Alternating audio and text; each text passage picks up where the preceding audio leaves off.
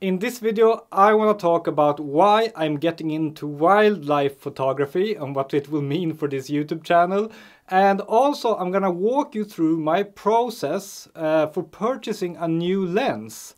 How do I identify what lenses are interesting, uh, how do I find the best lens for the money and what websites and tools do I use for that and finally how do I find the best price for that lens. And this will be a pretty long video with mostly me just talking, so feel free to uh, do something else while listening to this video because there will not be a huge amount of visual information. Before we dive into the video, I just want to say that it's been over a month since I did a proper photo walk with a proper photo walk video and that is so frustrating! And as you might know, there are several reasons for this. I had my eye inflammation, my kids have been sick a lot, and now during the last few days I have been sick.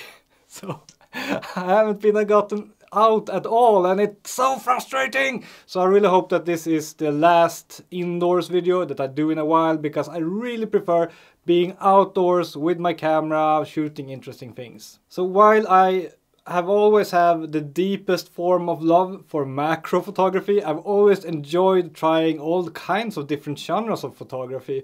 And on this channel you have seen me do a lot of family portraits and review of prime lenses for that. You have seen me do some landscape and um, even some astrophotography. Uh, but I have not done that much wildlife, almost nothing I think, or yeah, pretty much nothing if you don't count insects as wildlife. Uh, but actually, I've been doing a little bit of wildlife photography. Uh, first of all, early in my photography career, before I discovered macro photography, I actually uh, bought uh, some Canon uh, long telephoto lenses, like the Canon 300mm f4, the Canon 400mm f5.6, the Canon 100 to 400mm uh, the reason why I bought Canon lenses despite having a Sony camera was that there were no long telephoto lenses for Sony, at least none that I could afford.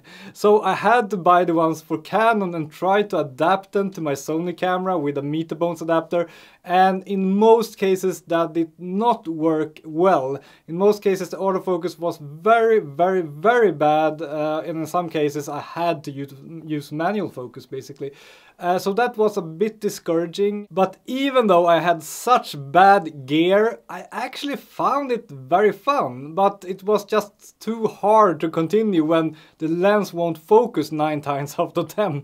It was just like, like a bit too frustrating. And also since the day I discovered my love for photography, I've been having two children and they have been born and gone through this stage where you kind of need to be home a lot because they need a lot of care and I don't want to put everything on my wife. Uh, so it's been hard for me to take long excursions to do photography. And in wildlife photography, you typically need to go out for a whole day uh, to get anywhere interesting and to shoot some interesting animals. Even though I love doing like urban wildlife as well, and that is something I would probably look into. Um, anyway, those are the reasons I haven't really done a lot of wildlife photography, but I've always had this curiosity and this urge to, to try it again when the circumstances are right. And now the circumstances are pretty good. Uh, nowadays both my kids are in preschool and when they're not sick I can actually go out for a whole day to do photography. And lenses, wildlife lenses like 600mm lenses have actually become affordable and available for Sony cameras. And actually, you don't have to spend like $10,000 to get a decent lens anymore, and that is amazing.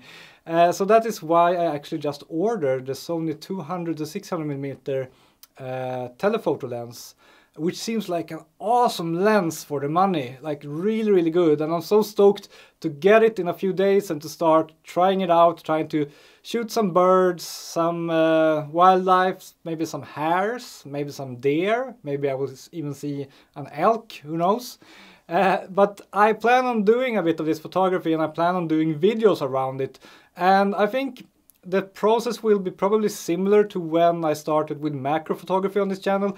I was a complete beginner in macro photography, or at least almost complete beginner when I started this channel. And you have been able to follow me on this channel while I have gone from a complete beginner in macro photography to pretty good. I'm not saying I'm the best, but I'm at least better than average, I think. And I hope that I will be able to do the same journey with wildlife. I will start playing around and do videos about what I learn and I will see how it goes from there. Maybe I'll be completely bored in a couple of tries or maybe I will love it just as much as I love macro photography. I have a hunch I might actually like it a lot, we'll see. And furthermore, reason for me to get into wildlife photography are two more things. Uh, first of all, I did a survey actually among uh, you people, at least the followers on Instagram, and asked like, what genres are you interested in besides macro photography? And the winner, a clear winner, was wildlife and bird photography. And when I announced on Instagram that I want to try this, I got many positive comments and many hearts on that uh, Instagram story, so it seems like there is a lot of interest out there. And please comment below what you think about this. Are you also interested in wildlife? And what would you say if um, some of my videos, at least in the winter, will be wildlife videos? Maybe I will do still like 60-70% macro photography videos, but then maybe 30% of the videos will be wildlife if, if I find it as exciting as I hope I will.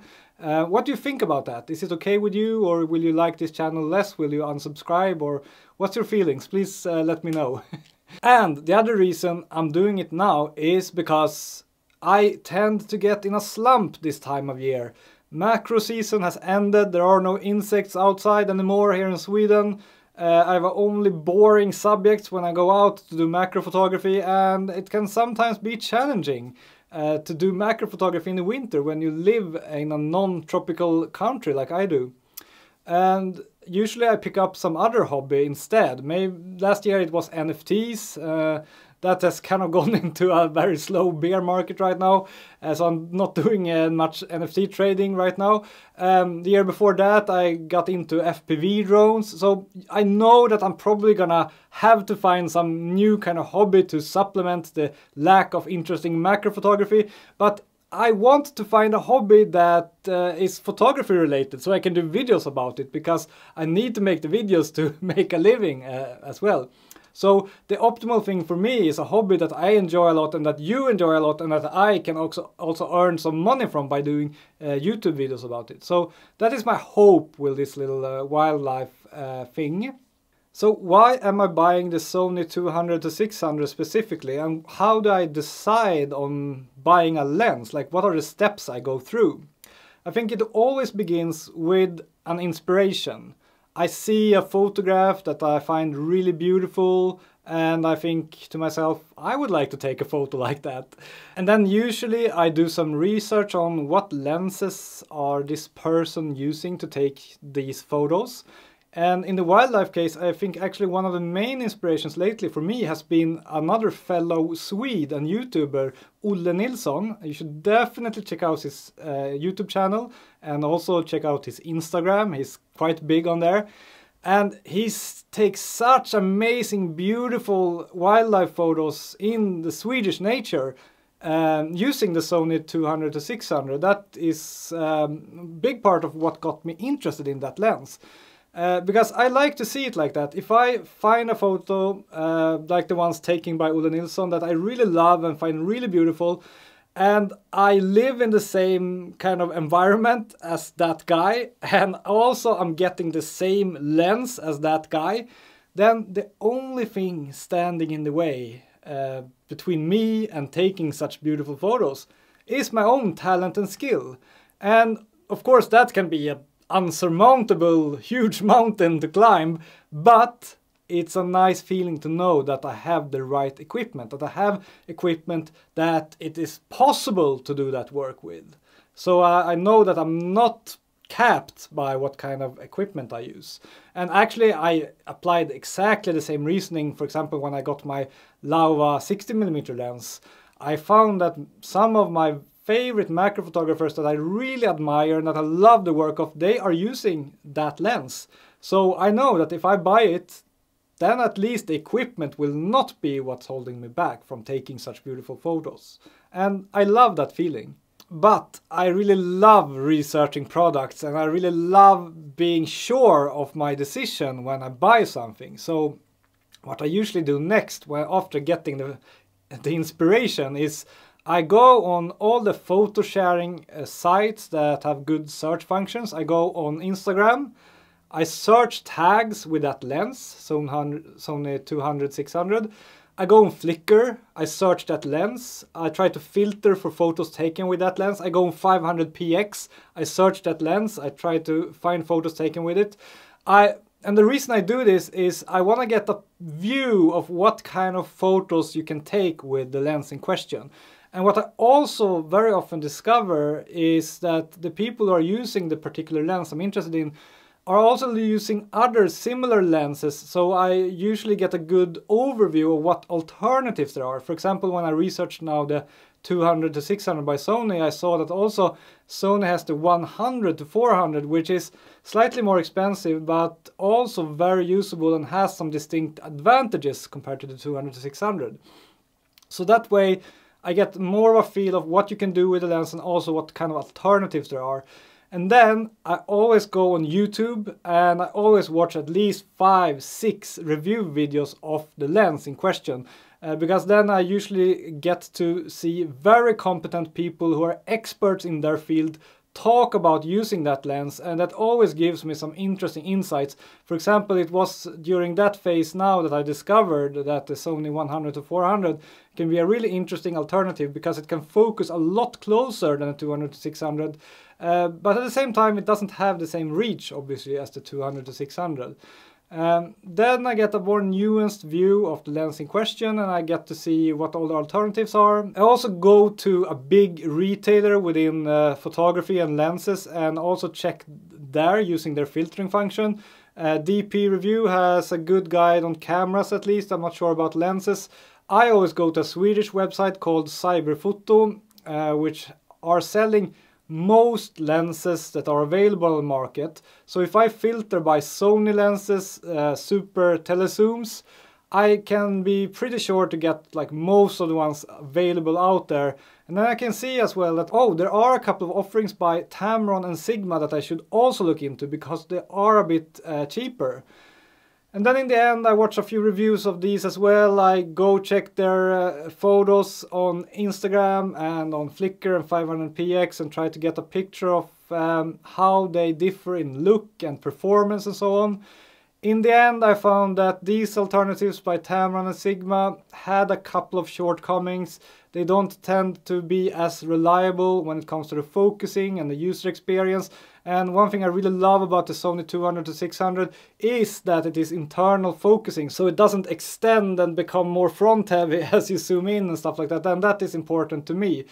Um, so then I found myself more and more comfortable in the decision to buy the Sony 200 to 600. Another great website that I can recommend when it comes to purchasing lenses and cameras and stuff like that is Photorumors.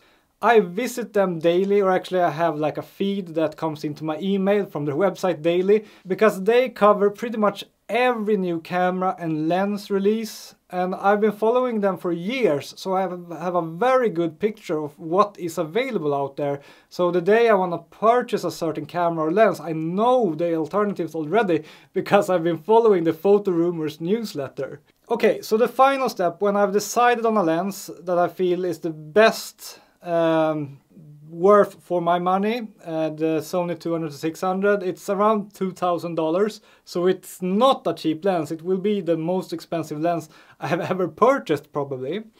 Then we come to the financing and finding the best price part. And when I buy a new lens, it's not like I have an infinite amount of money. It's not like I take money from my pocket because as you might know, I'm actually losing money every month doing this YouTube channel. So it's not an alternative for me to kind of take it out of my own pocket. What I pretty much always do is I sell some gear that I already own that I haven't used in a long time. And today I'm gonna pack my um, Canon RP camera and my uh, Canon 800mm f11 lens. And I haven't used this setup in over a year. I just used it like once or twice, taking uh, some shots of hares I found close to where I live. But I haven't found myself using this a lot, and it's mostly due to the fact that it just wasn't the right setup for me. It's very good value for money wildlife setup. The camera is like a thousand dollars or even less maybe, and the lens is also less than a thousand dollars, and it's incredibly lightweight. Uh, but the lens is just too inflexible. I need some zoom range and the f11 max aperture requires a lot of light so it's not as flexible when the light is uh, a bit darker as it very often is here in the winter in Sweden. Uh, so I'm gonna sell this on MPB which is a great site to just sell your stuff easily, no questions asked, no problems with buyers that take up your time and energy. You just send your stuff and you get paid. I can really recommend that site, even though they are not a sponsor yet. And that will cover most of the purchase, and then I will uh, sell a couple of more uh, lenses back here as well that I haven't been using in over a year. And that is how I will finance it.